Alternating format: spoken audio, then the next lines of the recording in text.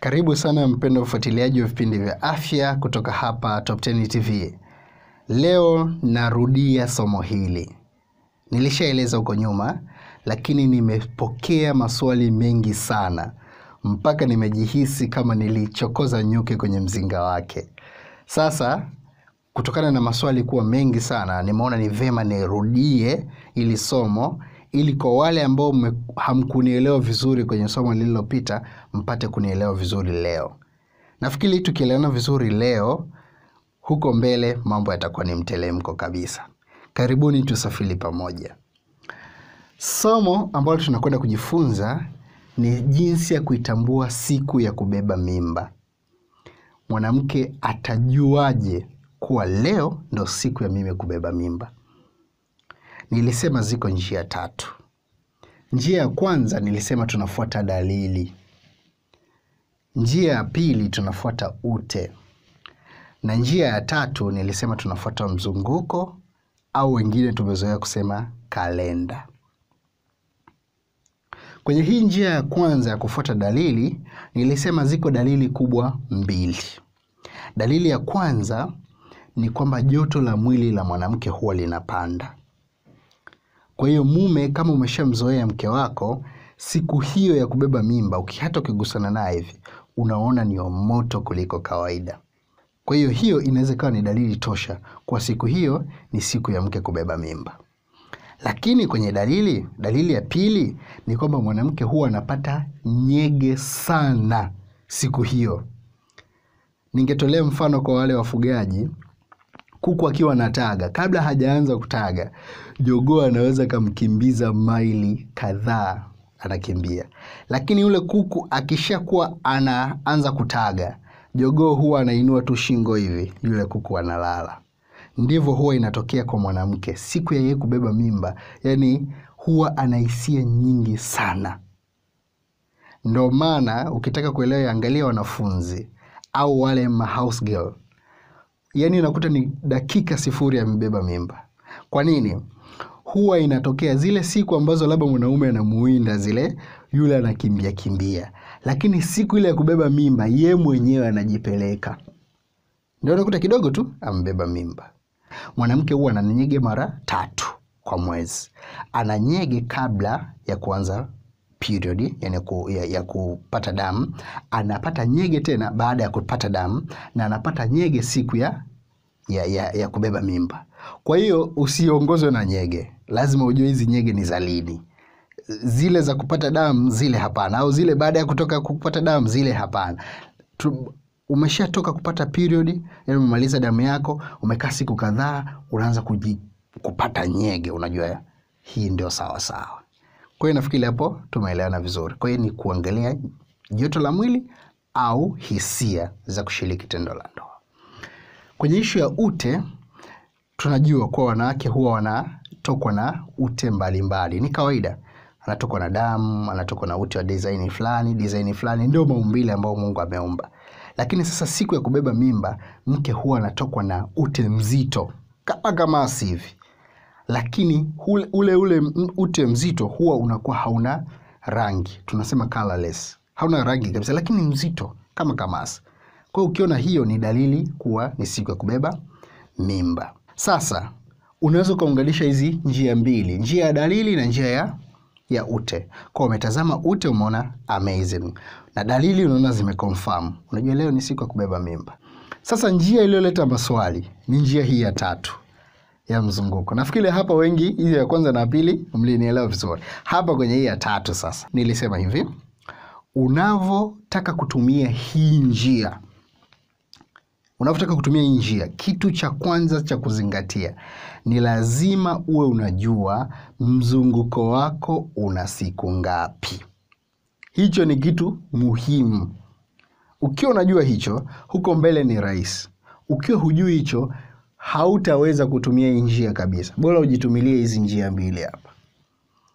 Kwa nini? Hii inahusisha hesabu ili upate jibu kamili kamili. Kwa hiyo kama hauna mzunguko sawa sawa, tafuta njia ambazo zitakusaidia kuweka mzunguko wako sawa. Ziko dawa nyingi tu siku hizi, mtu anaweza ukatumia mzunguko ukawa stable, hauyumbi hata hivi, zipo. Tumia hizo dawa kujiwekea mzunguko vizuri, kama unataka kutumia njia hii. Ukiona huelewi chochote, bora usitumie kabisa hii njia. Sasa tuseme unafahamu vizuri mzunguko wako una siku kadhaa. Ukishakuwa unajua, kumbuka hivi, baada ya yai kushuka, siku ile yai limeshuka, wanawake wote kutoka lile siku yai limeshuka mpaka siku ya kupata damu ya kupata period, wote ni sawa, siku zinafanana urefu pale, wote ni kumi na nne kumi na nne wote, haijalishi mzunguko una siku ngapi. Ndio maana hapo naona nimeweka kumi na nne kumi na nne kumi na nne kumi na nne kumi na nne Huyu hizi hapa ni idadi ya siku kwenye mzunguko. Kuna yuko mwenye ishirini na sita, kuna mwenye ishirini na saba, mwenye ishirini na nane, mwenye ishirini na tisa, mwenye thelathini, mwingine thelathini na tano. Kila mtu ana mzunguko wake, lakini urefu kutoka siku yai limeshuka mpaka kuja kupata damu wote ni kumi na nne. Sasa kumbe tunaweza tukapata kirahisi tujibu. Kumbe tumeshajua kuwa yai likishashuka mpaka kuja kupata damu tena ni siku kumi na nne.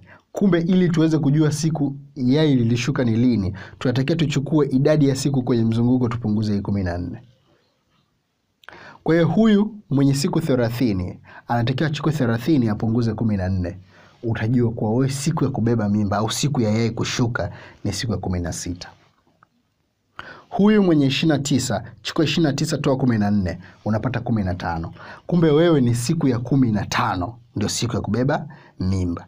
Hizi siku hapa unaanza kuhesabu tangu siku ya kwanza umepata damu.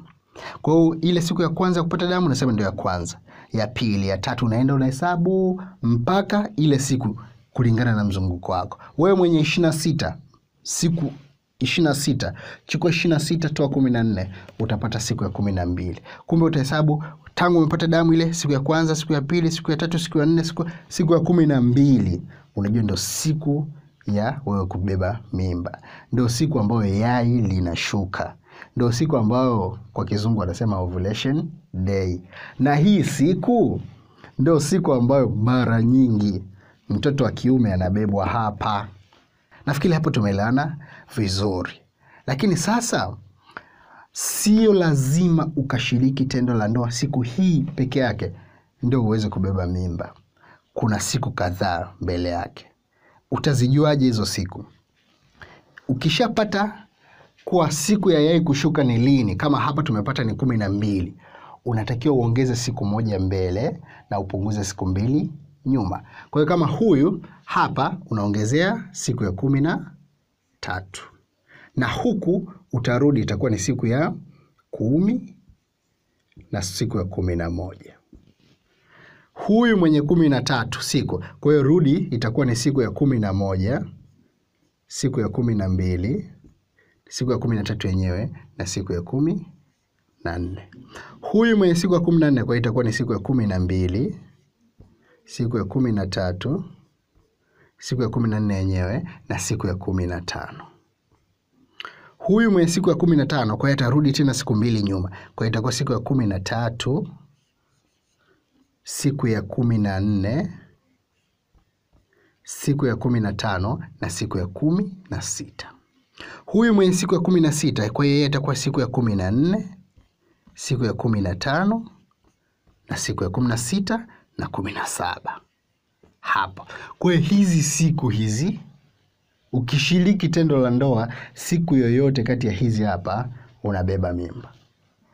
Ni rahisi kabisa, ni hesabu ya kitoto, kila mtu unaweza ukafanya nyumbani. Najua mpaka hapo mmeshaelewa. Sasa wengi tumeshazoeaga, tunaambiaga ile siku ya kumi na nne huwa inakuwa hivi, imewekwa wastani kuwa wanawake wote mzunguko wao na siku ishirini na nane. Kwa hiyo tukichukua ishirini na nane tukitoa kumi na nne tunapata kumi na nne ndio maana unasikia siku ya kumi na nne, lakini hatuwezi kusema kuwa wanawake wote wana ishirini na nane. Hapana, wako wenye ishirini na sita, wako wenye thelathini, wako wenye ishirini na tisa. Ndio maana tunatumia hili jedwali ili kuweza kuelewa vizuri kuwa huyu mwenye hivi siku yake ni lini, huyu mwenye hivi siku yake ni lini. Nafikiri mpaka hapo tumeelewana vizuri. Sasa wengine mnaniuliza tutapata lini watoto? yaani nitapata lini mtoto wa kike? Nikitaka kupata mtoto wa kiume nipate lini? Hiyo nakupa kwa kifupi kwa sababu ni somo refu pia. Kwa wewe ambao unatafuta mtoto wa kike cheza na hizi siku mbili hizi za mwanzo. Hizi siku mbili za mwanzo cheza na hizi. Usishiriki hii siku yenyewe cheza na hii hizi siku mbili za mwanzo. Uwezekano wa kupata mtoto wa kike ni mkubwa. Na wewe unayetafuta mtoto wa kiume nenda kwenye ile siku yenyewe ya tukio. Kwa kama hapa tumechukua thelathini kutoa kumi na nne kumi na sita kwa shiriki hii siku ya kumi na sita yenyewe. Kama ni wewe mwenye ishiri na saba tumechukua ishiri na saba tumetoa kumi na nne tumepata kumi na tatu. Hii ya kumi na tatu ndo ushiriki. Ile siku ambayo yai linashuka uwezekano mkubwa ni wa kubeba mtoto wa kiume. Nafikiri hapo nimegusia na hilo pia kwa sababu ni moja ya maswali ambayo nimekuwa nikiulizwa sana. Lakini kwenye ishu ya mzunguko kwa mimi mzunguko wangu unacheza siku ishiri na nane ishiri na tisa hapo huelewi vizuri nimeshauri utumie dawa. Kuna dawa zipo tu za kienyeji nyingi tu. Tumia hizo dawa kama umekosa unaweza ukaniambia mimi mwenyewe ukapata kutoka kwangu. Um, mzunguko unatulia kabisa yaani kama siku ni kadhaa kadhaa. Kwa hiyo unaweza ukatumia ile jedwali vizuri.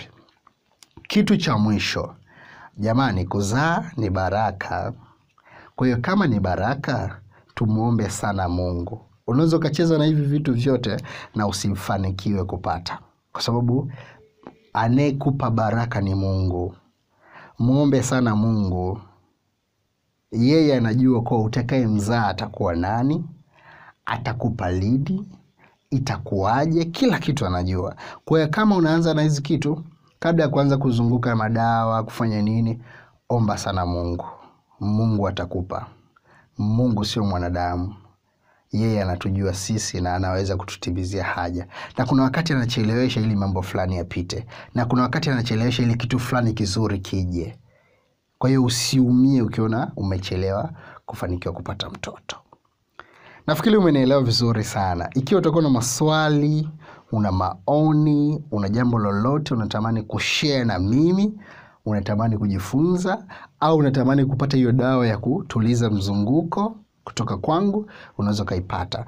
Namba yangu ni sifuri sita saba sita mbili tisini na nane mbili sabini. Sifuri sita saba sita mbili tisini na nane mbili sabini. Au unaweza ukanitembelea ofisini ofisi yangu inapatikana mbezi kwa msuguli dar es salaam hapo. Niko hapo kila siku kuanzia saa mbili asubuhi mpaka saa kumi na mbili jioni. Mpaka wakati mwingine nawapenda sana nawatakia wakati mwema na mungu wa mbinguni awabariki